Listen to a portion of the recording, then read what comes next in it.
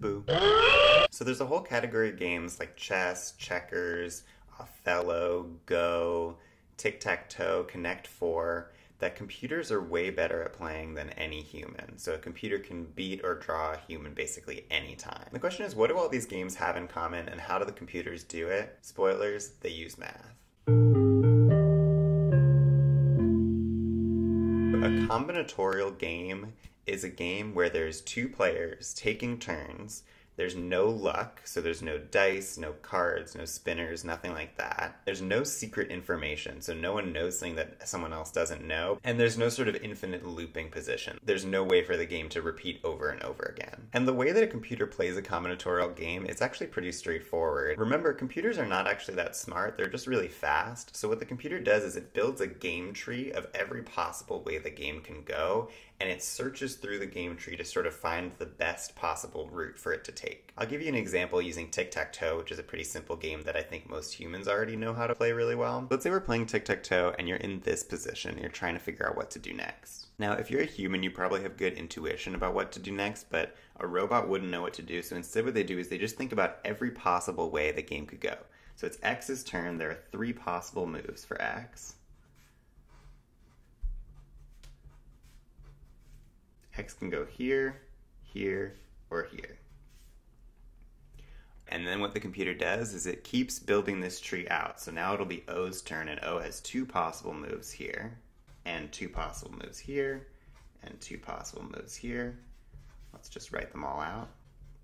And you even include like the stupid moves, the moves that you know no human would ever actually make, because the computer can't really tell right away. Oops.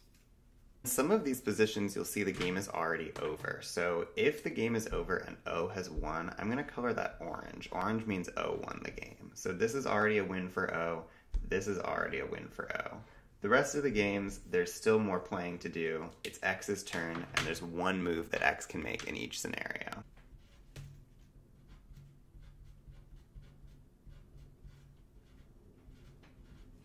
Okay, so how did all of these games go?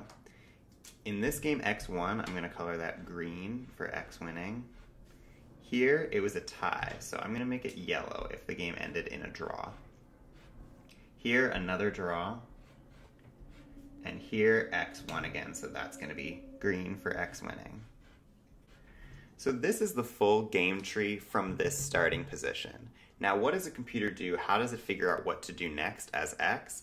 Well, it just goes up through the tree and tries to color in every position to decide whether it's a win for X, a win for O, or a forced draw with best play. So let's see what that looks like.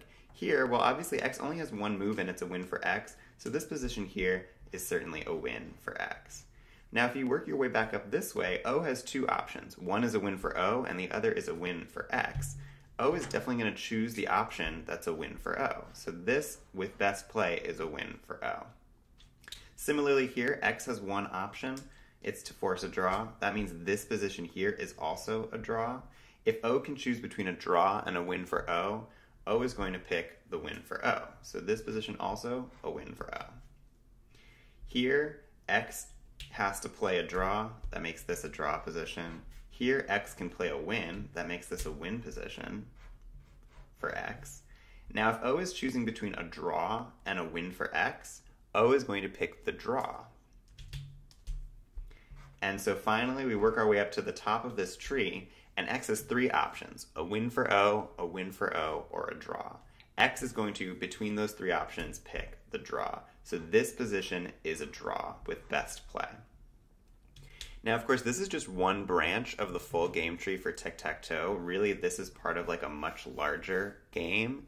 And that's really all a computer does when it's playing Othello or Connect 4 or something like this, is it builds out a whole game tree and for the most part it just brute forces its way starting from the end positions and working its way up. Tic-tac-toe is an example of something that's called a solved game where a computer or a set of supercomputers has gone through and figured out every possible way the game can go. They know who wins and what the perfect strategy is. Another solved game is Connect 4. Connect 4 it turns out is a win for the first player if they play really well. And checkers is also a solved game game, checkers is a forced draw if both players play perfectly. Chess and Go are two examples of games that are not fully solved just because the game tree is too complicated. There's too many options for each move, but some top chess players think that chess is a forced draw with best play. If you're into games like Connect 4 and checkers, you don't have to worry about the fact that they're solved. The solutions are too complicated for any human to figure out, so they're still pretty fun to play in practice. If you're interested in this kind of math where you talk about combinatorial games, there's a little bit about that in the book.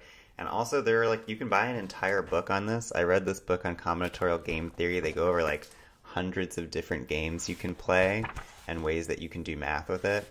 It's really cool. Any topic in math, there are like entire textbooks where people went really, really, really deep into that kind of math, solving it, proving theorems about it, everything you could possibly think of. Mathematicians are really intense in that way. When we find something we like, we really go hard with it. Remember, for more Math Without Numbers, be sure to subscribe, hit the post notifications bell, give it a like, pre order the book, and I'll be back with new videos every Tuesday. Happy Halloween.